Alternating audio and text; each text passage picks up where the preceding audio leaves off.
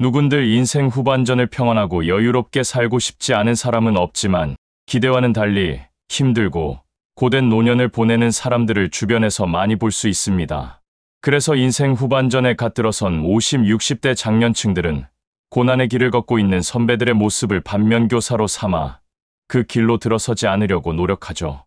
또한 지금 노년기를 맞이한 사람들은 이제라도 힘든 노년을 보내지 않기 위해서 하지 말아야 할 것들을 반드시 알아둬야 합니다.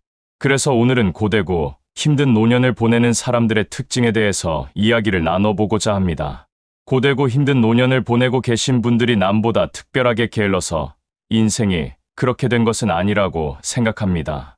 지금도 누구보다 일찍 일어나서 하루를 시작하고 한시도 쉴 틈 없이 몸을 쓰고 계신 분들이 오히려 더 많죠. 누구보다 근면하고 성실했을 것입니다. 그러니 고되고 힘든 노년을 보내는 사람들은 젊었을 때 게을렀을 거라는 편견은 옳지 않습니다. 누구보다 열심히 살았지만 불운이 겹쳤다든지 하는 안타까운 사연이 있을 수도 있습니다. 하지만 분명 힘든 노년을 보내고 있는 사람들의 공통된 특징이 있었습니다. 첫 번째, 스스로에 대해 너무 모른다. 인생 후반전에는 다른 인생을 살고 싶은 마음이 간절한 사람들, 더구나 퇴직을 코앞에 둔 사람들 중에 제일로 걱정하는 것이 바로 자신이 뭘 좋아하는지, 자신이 뭘 잘하고 있는지, 자신이 어떤 인생을 살고 싶은지 모르는 사람들입니다. 40대 중후반부터 동료들이 회사에서 잘려 나갔고 자신의 퇴직도 시간 문제일 뿐 곧 닥칠 것이 뻔한데도 여전히 뭘 해야 될지 모르겠다고만 얘기를 하는 사람이 있습니다. 그러면서 다른 사람에게 뭘 해야 될지 물어보지만 자신도 모르는데 다른 사람이 알 리가 없죠. 자신에 대한 성찰을 하지 않는 분들의 마음속에는 지금까지 잘 버텨왔으니 퇴직 후에도 당연히 어떻게든 잘 될 것이라는 심리가 자리 잡고 있을 수 있습니다. 퇴직 이후 인생을 이런 생각으로 받아들였다가는 큰 재앙을 맞이할 수 있습니다. 성공적인 인생 후반전의 첫걸음은 자기 내면과 대화하고 자신을 성찰하고 자신을 이해하는 것입니다. 자신을 들여다보고 성찰하고 반성하고 이해하고 그래서 자신을 찾는 그 과정이 오래 걸릴 수도 있고 불편한 과거를 맞이하게 될 수도 있고 신랄한 자아 비판의 시간을 가져야 하기도 합니다. 그리고 복잡할 수도 있죠. 어디서부터 어떻게 풀어야 할지도 모를 수도 있습니다. 그렇기에 포기하기 쉽지만 그 과정이 불편하고 번거로워서 피하는 것은 게으르다 못해 비겁한 것이기도 합니다. 자신에 대한 고민과 성찰이 없으면 고되고 힘든 노년이 게으른 우리를 기다리고 있을 것입니다. 두 번째, 배우지 않는다. 인생 성공 여부가 가방끈 길이에서 결정나는 시대는 끝났습니다. 이제부터 우리 인생에 정말 중요한 것은 가방끈의 길이가 아니라 가방끈의 재질에 달렸다고 말을 합니다. 대학원을 나오거나 석사나 박사 학위를 따고 허울 좋게 이런 거 내세우는 시대는 끝났습니다. 반대로 초졸이던 중졸이던 가방끈의 재질은 끊임없는 배움을 통해서 달라질 수 있고 결국 우리 인생도 바꿔놓게 됩니다. 세상의 변화를 이해하고 그 변화의 파도를 타고 넘기 위한 최고의 방법은 책을 읽는 거죠. 세계 석학들이 우리를 대신해서 오랜 기간 머리를 싸매고 연구해서 내놓은 결과물이 바로 책입니다. 우리는 그걸 그냥 누워서 읽기만 하면 되니 너무나도 감사하고 쉬울 따름이죠.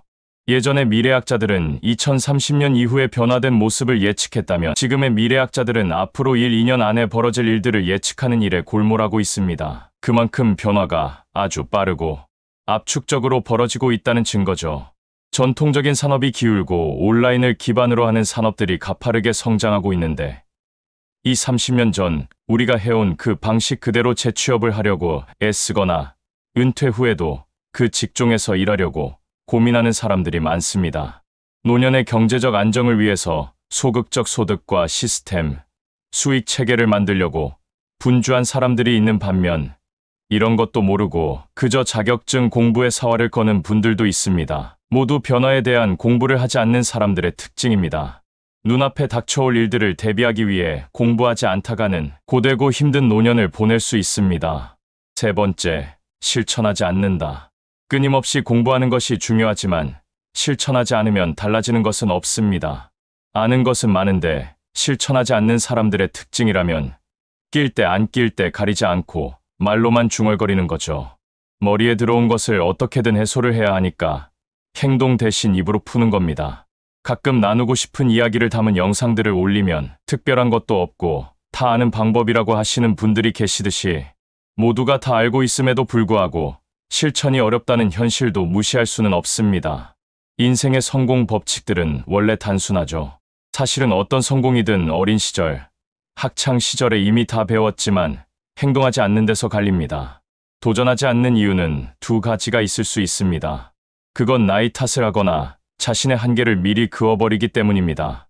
말로는 아직 젊고 전문성을 갖췄다며 무엇이든지 할 수 있는 것처럼 남들을 지적하고 충고하지만 정작 직접 도전할 과제 앞에서는 나이, 성격, 적성, 재능, 환경 등의 탓을 하며 안 될 이유를 수도 없이 늘어놓습니다.